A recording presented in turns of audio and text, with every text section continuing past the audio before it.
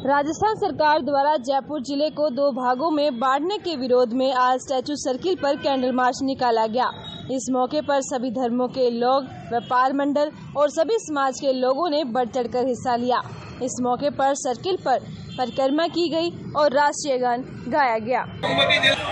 हमारा जो कार्यक्रम है ये पूरी तरह से गलत करा है सरकार ने जो भी करा है जयपुर के विधायक को पूरी तरह खत्म करने का इन्होंने प्रयास किया है। जयपुर को दो भागों में बांट करके और ये जयपुर के निवासी चाहते हैं कि ऐसा कभी भी नहीं होना चाहिए। जयपुर की पहचान जयपुर के नाम से है ना कि जयपुर दक्षिण उत्तर के नाम से। नहीं ये ये जयपुर जो है सभी लोगों का है। धर्म सिर्फ़ पार्टी का तो मतलब नहीं है। इसमें जयपुर के सभी धर्म लोगों को धर्म के लोग शामिल हुए चाहे पार्टी हो कार्यकर्ता हो एनजीओ हो व्यापार मंडल हो सभी लोग यहाँ पे आए हुए। मेरा नाम प्रदीप कुमार सैनी है मैं मामा हूँ जयपुर व्यापार मंडल। जयपुर बसाया था न कि जयपुर उत्तर या दक्षिण।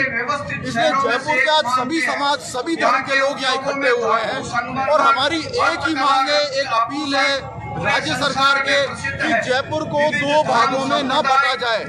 इसलिए आज हज़ारों की संख्या में लोग यहाँ एकत्रित हुए हैं। पिछले एक महीने से हम लगातार प्रयासरत थे कभी अखबारों में, कभी मार्केट में, हर जगह जाके लोगों से अपील कर रहे थे हमने सभी सभी विधायकों को हमने ज्ञापन दिए, सभी एम को ज्ञापन दिए और ये अपील करी कि राज्य सरकार तक हमारी एक बात हो जाए कि जयपुर को एक रहने दे और जयपुर में जितने ढाई सौ वार्ड है, उनको मिलाकर एक जयपुर रखे।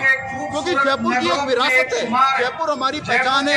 जयपुर पूरे विश्व में जयपुर के नाम से जाना चाहता है। उसको नाम को खड़ा खड़ा करे और जयपुर एक जयपुर मैं डॉक्टर ललित सिंह साजोरा अध्यक्ष जयपुर व्यापार मंडल और वैशाली नगर व्यापार मंडल